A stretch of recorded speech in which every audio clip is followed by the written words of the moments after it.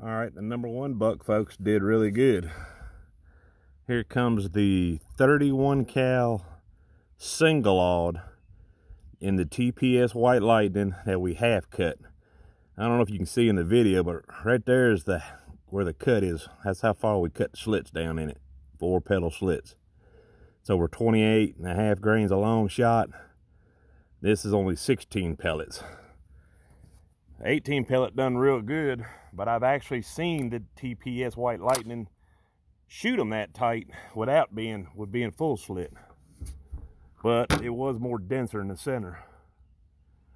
All right, here comes the 31 cal single aught.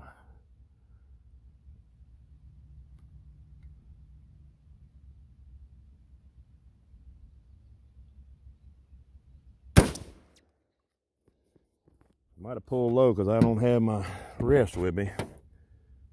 So let's go see what that one done. Our little test has been it's been good. Um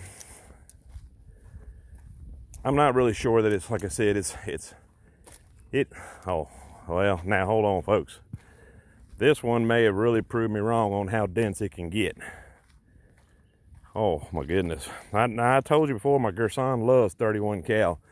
So you have to take that in consideration. Look at this folks. One, two, there's three of them right there in the bullseye. Four, five, six, seven, eight, nine, 10, 11, 12, 13, 14, 15, 16. All 16 of them right there, folks. That's that's insane. All right, we got the three right here in the bullseye. Farthest one over is right there. So you got,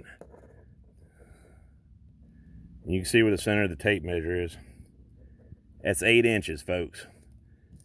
Then you got from the center there to the top one, is nine inches.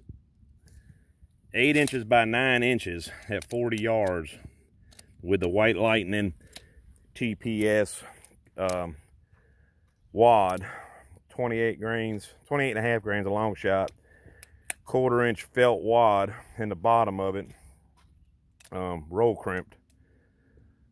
Ooh, yeah. Now, if you were still hunting, that'd be great if you want to try to get distance if I could have shot it more center, you'd have liked it even better. But I seen something along the way right here before I got over here. Where'd I see it at? I seen the felt wad laying there. Well, actually, I just found both of them, folks. Check this out.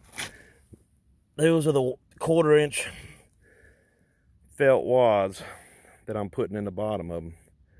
Boy, it made that thing like a pancake. and over here lies the other one them quarter inch felt wads. Work good in the bottom of them TPS white lightnings keep you from blowing the seals out. I haven't seen either one of the wads. I'm sure they're right past the target right there somewhere. Actually, I think I seen one of them in flight after shot going right there over top the target. So, all right, folks, if you want an even tighter pattern, it appears that's the way to go. If that's your thing. I don't see good enough to use that kind of targets. All right, later.